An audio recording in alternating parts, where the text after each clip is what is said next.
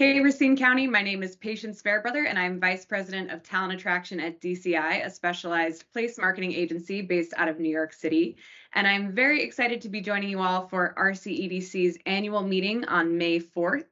During the meeting, I will talk about DCI's national research on how talent makes decisions about jobs and locations, how Racine County can proactively attract and retain talent in the years ahead, and what that means for local businesses. I'm looking forward to seeing you there.